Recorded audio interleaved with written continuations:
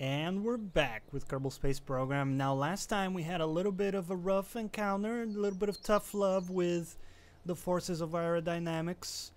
But this time, hopefully, we'll be able to solve that. And before we jump in, we're gonna again look at uh, what we can unlock here.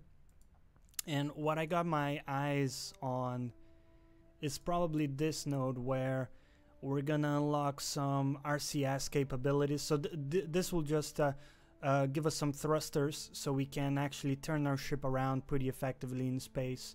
Because right now it's a little bit of a slog uh, to turn our ship around. So we'll unlock this first. Of course we don't have enough science to progress any further but uh, this will already give us a reaction wheel which give us the uh, gives us the ability to uh, to control our ship uh, a lot better as well. So with those improvements let's jump in now last time we had some issues and I gave it some thought and uh, of course the the question of lift is not something we gotta concern ourselves with here because we don't we're not dealing with a plane so we, we don't have to worry about lift but we do have to worry about the positioning of our winglets and I was right in the sense that we don't want any winglets in in the middle of our body because that's gonna as I was uh, thinking that's gonna cause um, the the force to to just tilt our, our ship around and we don't want that to happen. So I was right in positioning them uh, as far down as possible. But uh, turns out what I was missing here is just more winglets we didn't have enough winglets and when we tried to maneuver our rocket we didn't have enough surfaces uh, to keep us stable and that was just causing us to spin out of control. Everything else was working here and actually maybe I don't even need these ex exterior winglets but we'll keep them for good measure. So I'm pretty confident that this design will work quite a bit better and will allow us to perform a gravity turn quite nicely. I just want to touch a couple things here uh, namely I want more science because uh, these canisters can only be used once and then they're they're unusable so you know might as well pack two of those guys. Like that. We already got two of the uh, goo canister uh, thingies uh, might as well pack some extra solar panels since we have the surface to work with. So yeah we're gonna roll four more panels. Uh what is this? Air brakes. Interesting. Okay, we don't need that. Uh yes our inline reaction wheel. Let's pack this bad boy again this will allow us to turn our ship. Oh it's pretty small. Okay. So let's just put it in between our um, our probe capsule and the rest of our ship. I think this this is how it's this is where it's supposed to be placed, and this should be a way better design. Uh, in terms of fuel, we got plenty, and also I should have mentioned the goal for today is well as you may imagine we're gonna launch one of another one of these bad boys but this time actually well instead of having one in Kerbal orbit um, my plan is to well still keep it in Kerbin orbit but I want it to be as far away as possible. So I want basically something quite far away that gives me just extra range in terms of communications and uh, yeah, so let's go. So we're gonna have a similar first uh, first set of steps here, but hopefully this time we're gonna have a stable launch. So Here's hoping. Let's go. Three, two, one, go.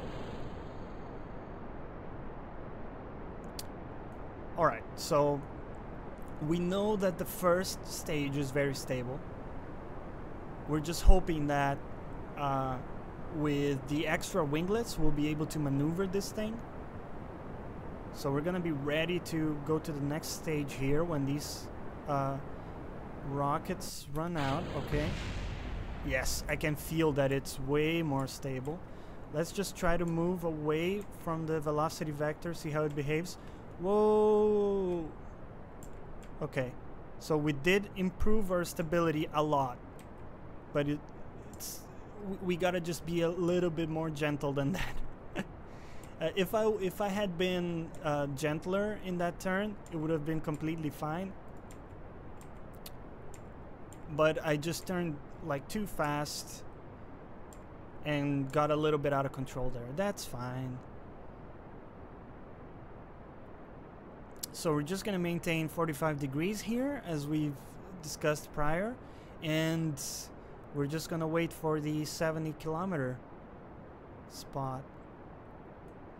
So yeah, I'm pretty happy uh, about this launch despite my my uh, uh, my bad control there, but that's just a bad piloting thing that won't happen again. So after this launch, we'll be able to send probes out without the fear of uh, them going out of range. And we've reached 70 kilometers. So let's just wait a little bit until we reach that apoapse. And yeah, I'm pretty excited about this. So the next thing we'll do is send a probe to the moon and we'll try to land that thing. Okay. Let's just burn here.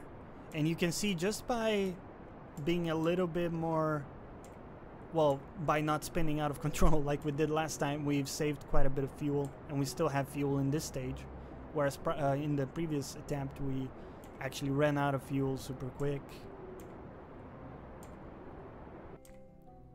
and stage all right so we're just waiting for our circular orbit here. Again, I'm just gonna wait a little bit until we reach apoapse. Alright. Eh, we should be fine. So yeah, I'm a little bit mad that I didn't realize the flaws with our design, but this is already a, a pretty decent uh, rocket design that I'm happy with. Um, again, the only issues we had were due to my bad piloting and not necessarily uh, to do with the actual rocket. So we've got 1000 meters per second left of delta V. That should be enough to get us quite far. We're going to extend our antenna and extend our other antennas You can see we got our fancy lights in there and we're ready to go. So what's the next step? We get into a large orbit and I think my idea is kind of being in this radius, just outside of Minmus. So what we do here is well ideally we want to perform our because we actually didn't get a circular orbit so our apoapsis is quite different than our peri. So we'll just create a maneuver here at periapsis. We can actually input a value here. So let's just say we're gonna dump like 900. Whoa, okay, that's too much. How about something like this? Okay, I gotta keep in mind though that we don't want an encounter. And the other thing is we need to have some amount of fuel to extend our uh, our periapsis all the way and make it hopefully a circular orbit. So we're gonna try this. We'll have around like 200 um, delta V left, and I'm just kind of hoping that it's gonna be enough. Might be a little tight, but uh, let's give that a shot. So we're gonna just warp all the way here.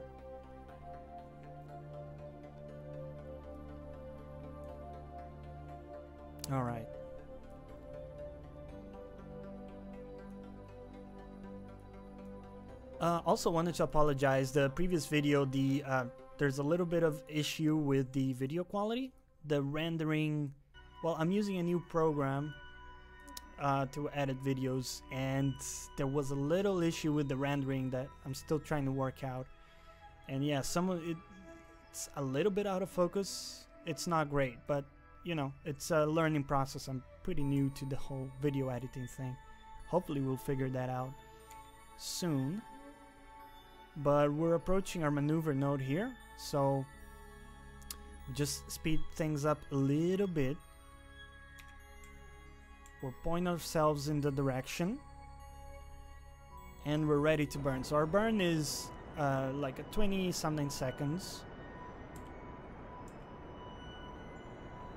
And we gotta be mindful of our fuel here because we, we're pretty, we're a little bit short on fuel because, well, our ascent was not very good and we wasted quite a bit of fuel there. But that's fine. Alright, so let's cut that. I actually overdid it a little. We have very little fuel left, but we'll be okay. Let's just warp ourselves to Apoapse. And now all we gotta do is just burn prograde and we'll extend our periaps hopefully all the way outside the, the radius of Minmus orbit. Let's just make sure we're pointing the right way. And we're gonna probably dump the rest of our fuel. Whoa, okay. Oh, I didn't realize we actually screwed up. Oh, what am I doing? I'm so dumb. I was thinking this was Minmus. That's actually just the moon. Wow, okay. Well, this changes things. That's fine. So what we do here is we just go to our new Apoapse. Oh, we cannot maneuver there? What? Hmm. So that's tricky. We're actually going to collide with the moon? okay. So perhaps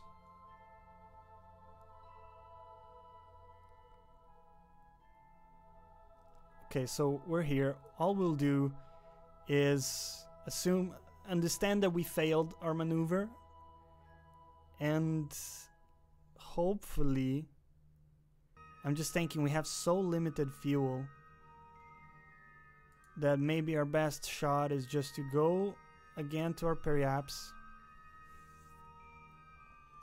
We'll burn like a bit of our fuel, looking prograde.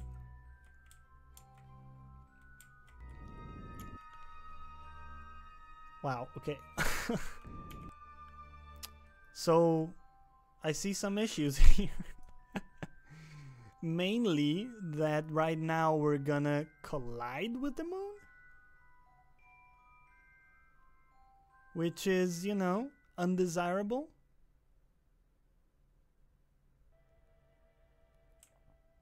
Okay, let's try to adjust our trajectory a little bit by burning radial here. And radial is a direction we haven't seen before. So what happens when you burn radial is that your your um, your orbit moves. Think of it as moving sideways. So your inclination remains the same, and the uh, kind of the uh, magnitude of your orbit or the size of your orbit should remain the same, but you're just kind of translating your orbit sideways. So let's just burn gently here in this direction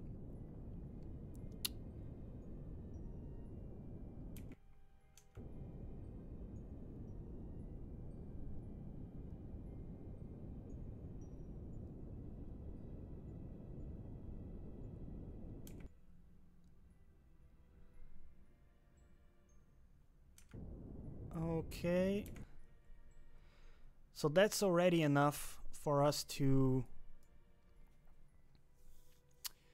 that's already enough for us to dodge the moon. Now we we find ourselves in a predicament because we do not have enough fuel to circularize our orbit. And what's going to happen is that we're going to get away from the Kerbin sphere of influence and into the suns. But you know what? Sometimes you just gotta go with it and, you know, make the best out of a bad situation. So we, we made mistakes, we wasted a lot of fuel, we thought this was Minmus when it was positively not Minmus. And, you know, I think what we'll make of this is that we're just gonna have a solar satellite. How about that? So let's just go with the flow here. And yeah. So we warp ourselves here. We're gonna go into the sphere of influence of the Mun. Where's the Mun? There's the Mun. Of course, we're no stranger to the moon. Jebediah himself was there not long ago. And we're just gonna warp past the moon. Goodbye.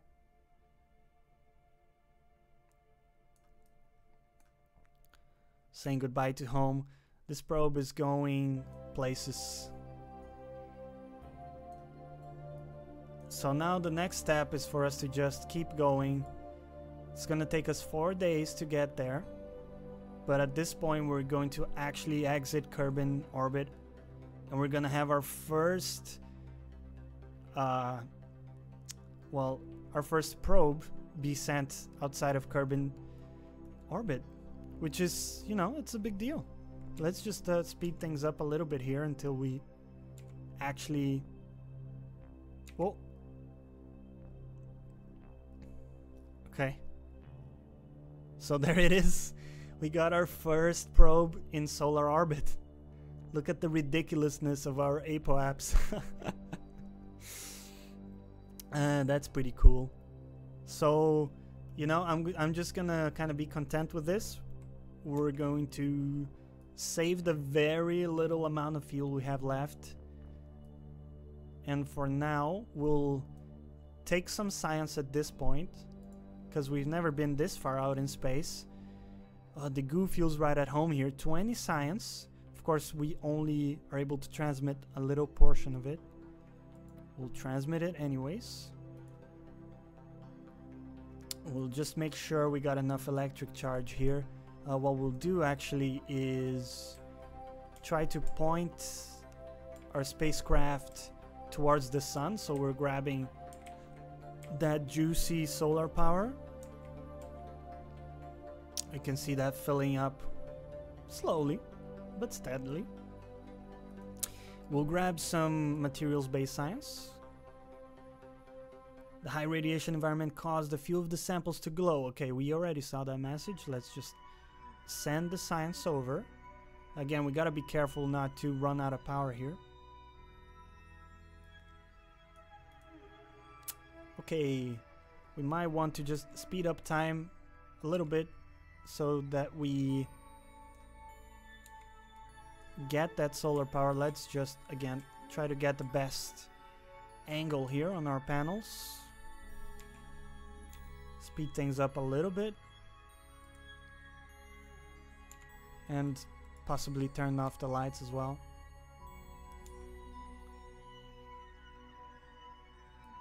So there we go, that should be enough for us to transmit.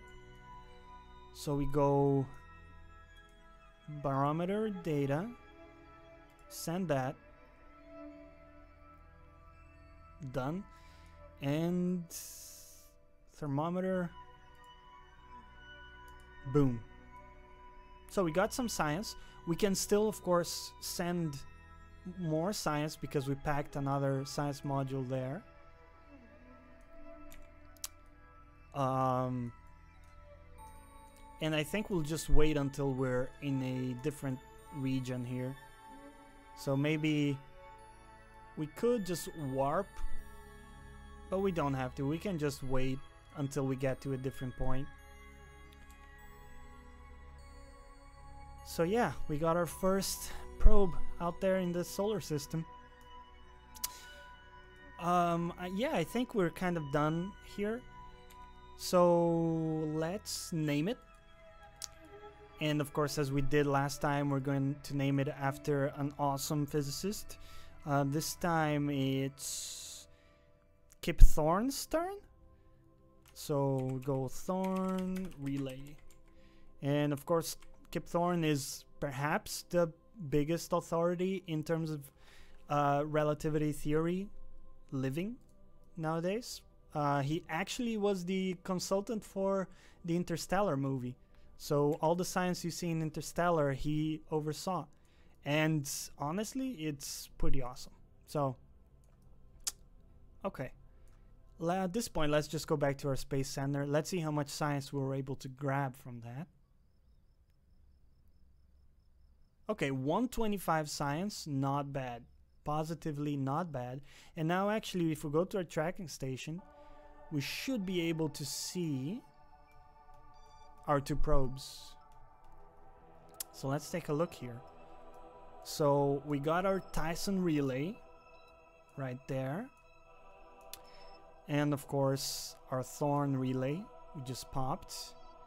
We can't see it because we can't go further than this, I don't think.